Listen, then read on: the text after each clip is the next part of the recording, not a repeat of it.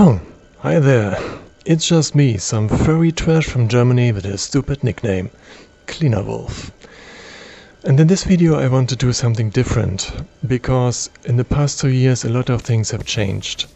And therefore I want to talk a little bit about myself this time, and I will explain to you guys why I'm standing in a virtual Estrel hotel looking like this. Let's start with a flashback to the year 2000, because that was a year when I published my custom player model for the Ego Shooter Quake 3 Arena. And at that time, I didn't know anything about furries. I didn't even know the word.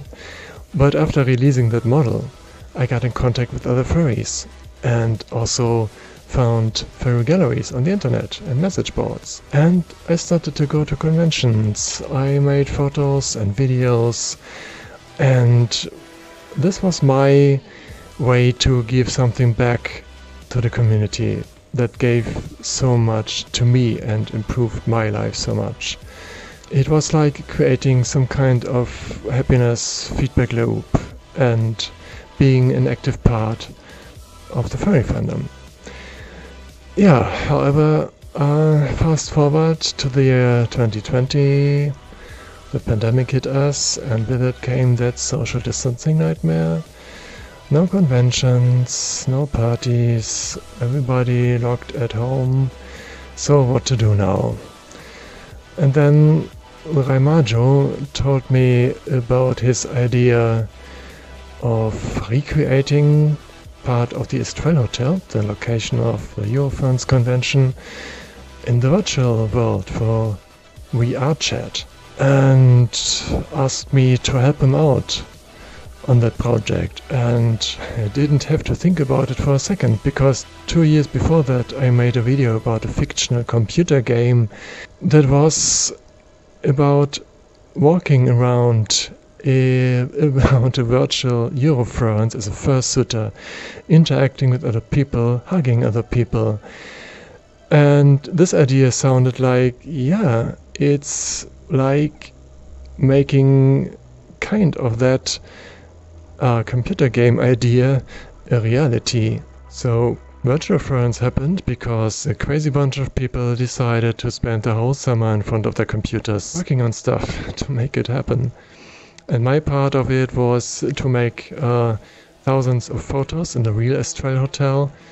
They were used to recreate some part of the 3D geometry in a process called photogrammetry. They were also used as reference and also as source for textures. And also my job was to build the basic structure of the hotel, the walls, the roof structure, and those are exactly like the real ones. That is amazing. It's so close to um, our photogrammetry scan that we did of the whole hotel. And uh, extremely realistic instead of just copy pasting stuff. Uh, doing that extra mile and I just pushed some polygons around in Blender until it looked kind of like the Estrel. That's all. You spent you spent like more than a week on that roof structure. Just yeah. oh boy. And then how you like reduce yes. the polygons by by half, and now the whole yes. structure is less polygons than one avatar normally is. The Virtualfurence project was also the starting point for me to use VRChat, of course. And before the pandemic and before the Virtualfurence project, I was never really interested in virtual reality in general.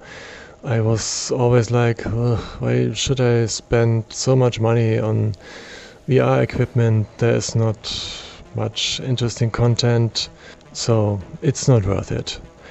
But nowadays, I think that buying a VR headset was definitely one of the best decisions I ever made in my life. Because it cannot be described in words and it also cannot be shown in videos what kind of magic is happening there.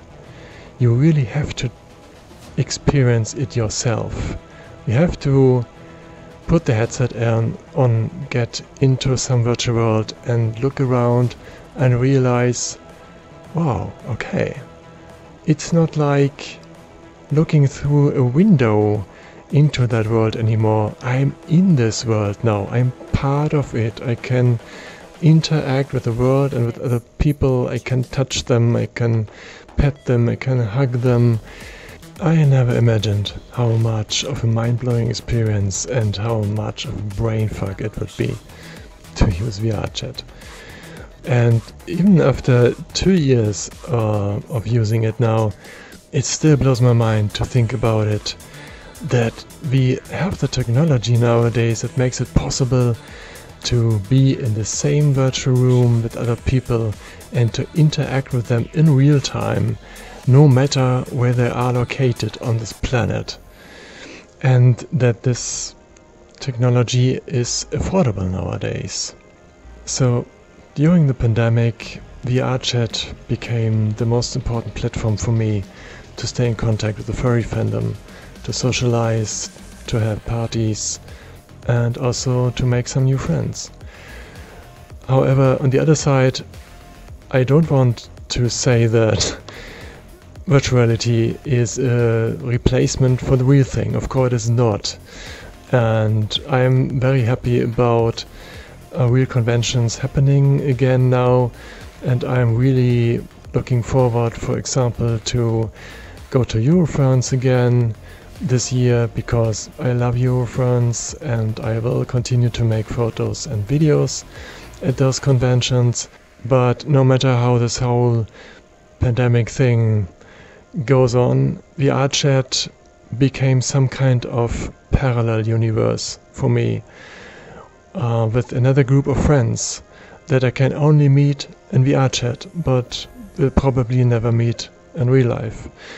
And on the other hand, I have a group of friends that I can only meet in real life, but they still don't use VRChat.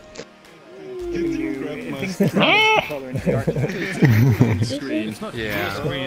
screen. This is great for me because uh, I, I don't get to go to the big international cons anyway because I'm here in Africa and it's just way too expensive to go across a whole continent for a single con. So yeah, but that's exactly yeah, the intention. like that's that's uh, one of the main purposes of this to bring people together that couldn't couldn't come uh, together in the real the world. The screen so is here. If we can, uh, yeah. no? it is wonderful. Yeah. All right, guys. Let me show you something. Just follow me.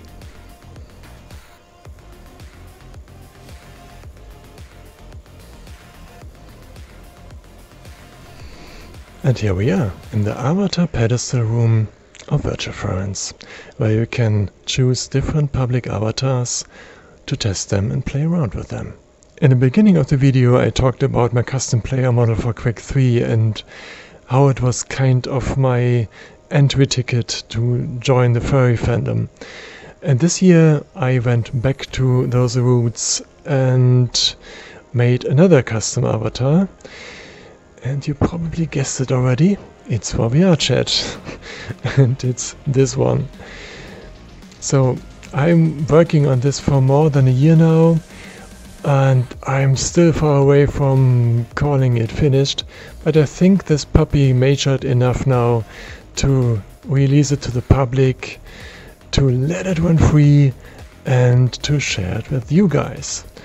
So if you go to the room behind that machine where you can buy the room tickets, you will find those panels here on the wall. Not only the awesome avatars made by Hayu and Alex Lotto, but also now my avatar.